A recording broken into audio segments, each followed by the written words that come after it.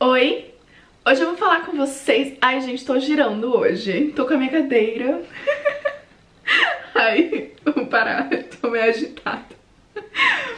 Oi, hoje eu vou falar com vocês sobre o aproveitamento de matérias depois do Brafitec. Seguinte, muita gente, mas assim, muita gente de verdade. Eu sei que muitas blogueiras iniciantes falam, tipo, muita gente veio falar comigo, mas é verdade.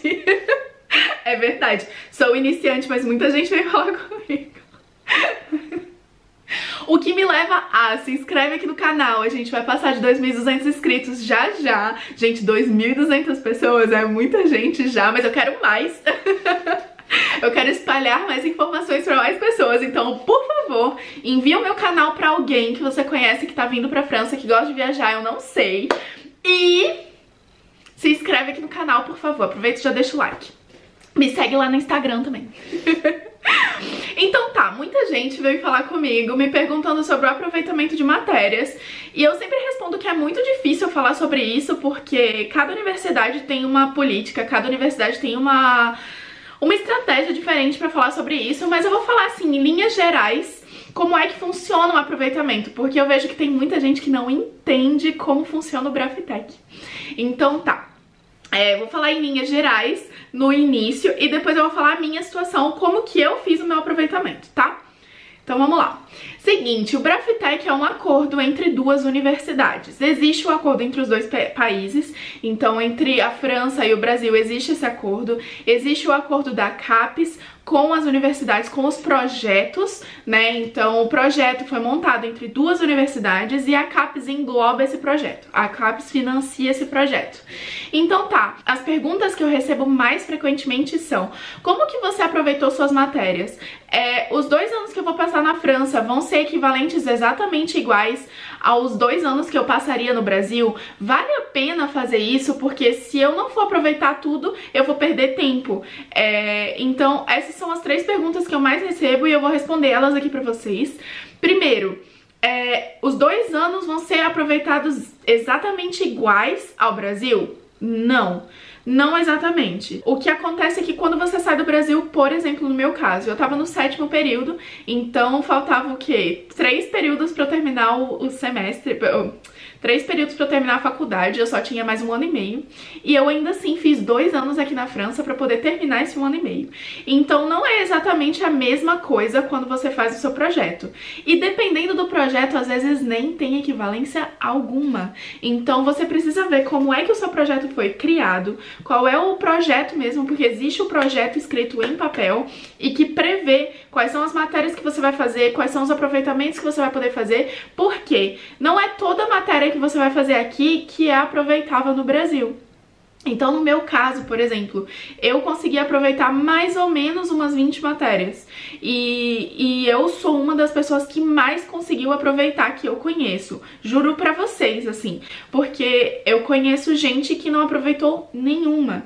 Eu conheço gente que aproveitou três matérias. Então, dependendo de como o seu projeto foi feito e do curso que você vai fazer aqui na França, a coisa muda de figura. Então, depende muito do curso. Por exemplo, um amigo meu veio pra cá no sétimo período. Um amigo meu veio pra cá pra França e ele fazia engenharia elétrica no Brasil e supostamente ele tava fazendo engenharia elétrica aqui na França. Só que existem muitas matérias diferentes. Então o que aconteceu foi que ele veio no sétimo período, ele passou dois anos e ele ainda tem mais um ano pra fazer no Brasil. Então, depende muito, muito, muito da, da, sua situação, do que é que você cursou aqui, mas isso é uma discussão que você tem que fazer com o seu coordenador de curso antes de fazer o programa, ou que você tem que ver no seu edital o que é que está previsto já. A segunda pergunta e eu não vou lembrar da terceira, mas aí a gente vai conversar sobre isso. a segunda pergunta é, é, vale a pena então? Porque se eu for pra ir e só for perder tempo, é, porque, né, eu tô indo, vou passar mais dois anos e tal, em vez de terminar meu curso. Gente, vale. Porque se você conseguir passar os dois anos aqui, você vai sair daqui com um diploma. Então, é um bônus a mais no seu currículo, é um tempo que você vai ganhar. Fora que, mesmo sendo matérias totalmente diferentes, são matérias interessantes, sabe? Então, você vai estar tá adquirindo conhecimento, você vai conhecer novas técnicas, novos métodos de aprendizado. Você vai conhecer, por exemplo, a estrutura na França, a infraestrutura da escola na França, na faculdade na França.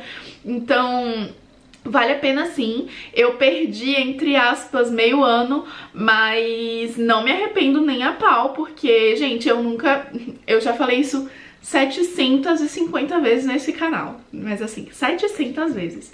Eu nunca tinha visto uma coluna de destilação na minha vida, assim, de verdade, antes de vir pra França, então, cara não se compara, sabe? A quantidade de conhecimento que eu adquiri é, nesses dois anos foi absurda, fora a quantidade, fora as oportunidades de estágio também que eu tive. Então, eu tive contato com empresa, eu tive contato com muita gente e foi isso que me trouxe ao meu doutorado, ao meu doutorado. Então, assim, né, é, não se compara a quantidade de contatos que eu fiz. A gente sempre ouve falar sobre networking, só que estando aqui na França foi quando eu notei que é realmente muito importante você ter uma rede de pessoas que você conhece na área, para você ter, enfim, ter o, o, o o acesso às coisas, então vale a pena sim, e mesmo que você não aproveite nada, eu acredito que vale a pena vir, porque, lógico, se o curso que você vai fazer te interessar, né? Eu conheço uma amiga, por exemplo, que fez engenharia mecânica e que quando ela veio pra cá, ela fez uma especialização de dois anos em engenharia nuclear. Então, velho, tem nada a ver, entre aspas, né? Entre aspas. Não tem nada a ver com as matérias que ela pagaria no Brasil, mas ela fez uma especialização em engenharia nuclear e, tipo, ela tava trabalhando numa, numa empresa que tava montando uma usina nuclear, então, velho, ela tava lá dentro na hora, entendeu? Então eu acho que tem que saber aproveitar a oportunidade Vale a pena sim, e eu espero imensamente que o programa não acabe, porque eu acho realmente muito, muito, muito importante. É, são oportunidades incríveis, oportunidades de colaboração entre o Brasil e a França que são absurdas, assim. Então, eu espero que não acabe. E falo assim, com muita tristeza no meu coração, sabe? Da possibilidade dele acabar, porque é triste, de verdade, assim, o, o meu programa, por exemplo, acabou. É bizarro.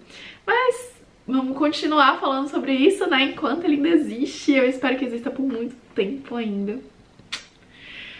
E aí, vamos falar agora... Eu realmente não lembro da terceira pergunta. Mas eu acho que a terceira pergunta tinha relação com a segunda, não tinha? Enfim. Então tá, como que eu fiz e aí eu não vou falar específico como que eu entrei no site e aproveitei a minha matéria, porque, enfim, faz sentido nenhum. Mas falando sobre dicas gerais que podem ajudar todo mundo.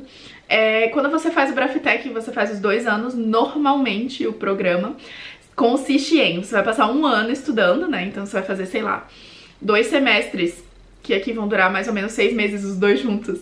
É, você vai fazer dois semestres no, de estudo, depois você vai fazer cinco ou quatro ou três meses de estágio, depende da sua universidade, e no segundo ano você vai fazer, sei lá, três meses, de três a cinco meses de aula, e depois você vai fazer um estágio de seis meses. Então, é, Após os três meses, os três ou cinco últimos meses de aula, você já pode pedir o aproveitamento à distância das suas, das suas matérias. Na maior parte dos cursos, na maior parte das universidades consiste nisso.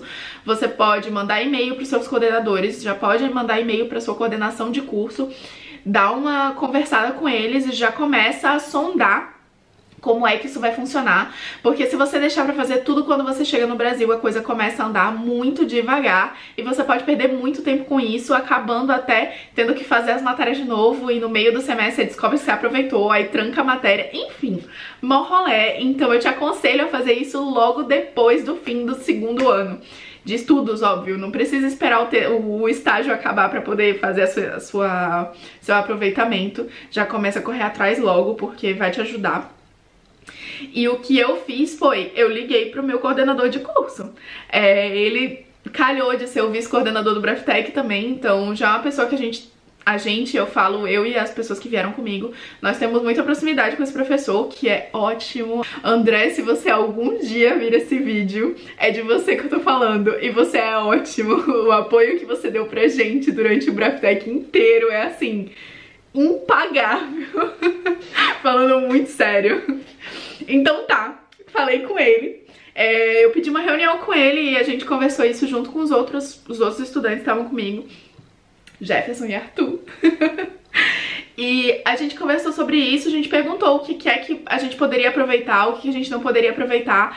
Eu consegui aproveitar o meu TCC, eu consegui aproveitar o meu estágio, então o tempo de estágio que eu paguei aqui, eu consegui aproveitar no Brasil. E isso é uma coisa que eu te aconselho a perguntar se você pode fazer também. É, eu sei que essa política no UFRN já mudou também, então o TCC hoje em dia não é mais aceito, mas enfim, é, dependendo muito de como a coisa funciona, você conversa com seu coordenador e é ele que vai aprovar né, a, o aproveitamento ou não das disciplinas. Então, conversa com ele, pergunta, olha, eu tô tentando fazer isso, isso e isso, eu fiz essa matéria, eu fiz aquela matéria, como que funciona o aproveitamento? Na UFRN, você tem que fazer 75% da da ementa da disciplina para poder aproveitá-la. Então, você pode juntar várias na UFRN, né? Você pode juntar várias disciplinas aqui e se todas elas juntas derem mais de 75% da ementa da disciplina no Brasil, você pode aproveitar. Então, foi assim que eu consegui fazer o meu aproveitamento. Foi na base da conversa mesmo, na base da conversa mesmo. E eu acho que a melhor maneira de você conseguir aproveitar o máximo possível é você conversando com a pessoa. É, Poxa, não aproveitaram tal matéria. Mas por que você não aproveitou tal matéria? Eu fiz isso, isso e isso. Eu acho que por causa disso, disso e disso eu poderia aproveitar e tal. Começa a correr atrás e não deixa, de novo, vou repetir. A última coisa que eu vou falar nesse vídeo, eu acho, não deixa pra fazer na última hora. Porque senão você vai se lascar. Melhor conselho. Já vou deixar, tá escrito aqui, não deixa pra fazer na última hora, senão você vai se lascar. Falando muito, muito sério, conheço diversas pessoas que tiveram que ir pro Brasil, quando pediram aproveitamento, levaram 3, 4 meses pra receber o resultado do aproveitamento, então assim, não deixa pra fazer na última hora, não vale a pena. E é isso, e durante o estágio você vai ter tempo de fazer. Então, assim, corre atrás. E essas são as minhas dicas. Eu espero que tenha esclarecido um pouquinho pra você. Porque eu vejo que tem muita gente que, que confunde isso de, ah, os dois anos do Brasil, os dois anos da França vão ser iguais aos dois anos do Brasil. E não, não é isso. Você tem que ver disciplina por disciplina o que é que você pode aproveitar. Então, normalmente a gente perde tempo. Mas é isso. É, se você gostou desse vídeo, se ele te ajudou de alguma forma, deixa um like aqui embaixo. Se inscreve aqui no canal, por favor. A gente tá chegando em 2.200 inscritos já. Nossa, 2.200 inscritos. É, em pensar que, tipo, eu passei um ano, dois quase, pra conseguir mil inscritos e agora a gente tá chegando em 2.200. Ai, tô muito feliz. E é isso, envia esse vídeo pra alguém que tá fazendo Braftec que ainda não entendeu como é que funciona o aproveitamento de disciplinas. Um beijão e até o próximo vídeo. Tchau!